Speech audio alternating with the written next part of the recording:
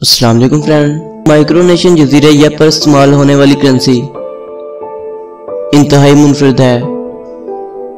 کیونکہ یہ دنیا کی سب سے بڑی اور باری کرنسی ہے۔ اس چھوٹے سے جزیرے پر در حقیقت کرنسی کے طور پر بڑے بڑے مخصوص گول پتھر استعمال کیے جاتے ہیں۔ جن کا وزن گاڑی سے بھی زیادہ ہوتا ہے۔ یہ پتھر صدیوں سے کرنسی کے طور پر استعمال کیے جا رہے ہیں۔ اور تاحال ان کا لین دین جاری ہے۔ یوں تو مائکرونیشن جزائر پر سرکاری طور پر ڈالر کو سرکاری کرنسی کے طور پر استعمال کیا جاتا ہے۔ لیکن یہ کے بشندے کرنسی کے لیے اندیو کمت پتھروں کو بھی استعمال کرتے ہیں۔ پورے جزیرے پر ایسے سینکڑوں ڈسک نما پتھر دکھائی دیتے ہیں۔ کچھ ہوٹلوں کے اطراف میں تو کچھ گھنے جنگلوں میں۔ لیکن زیادہ تر پتھر گاؤں میں موجود ورچوئل بینکوں میں رکھے گئے ہیں۔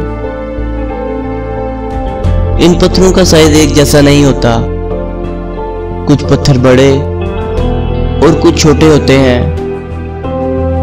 جو پتھر جتنا بڑا ہوگا، اس کی قدر بھی اتنی زیادہ ہوگی۔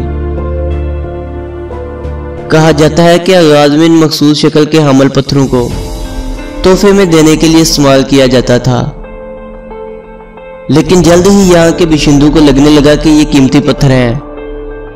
تو انہوں نے اسے پیسوں کے طور پر استعمال کرنا شروع کر دیا۔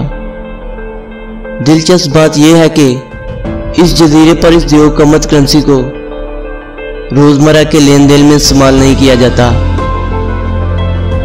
بلکہ چند خاص موقعوں جیسے لڑکی کے جہیز میں یا پھر کسی خاص صورتحال میں کی جانے والی تجارت میں استعمال کیا جاتا ہے۔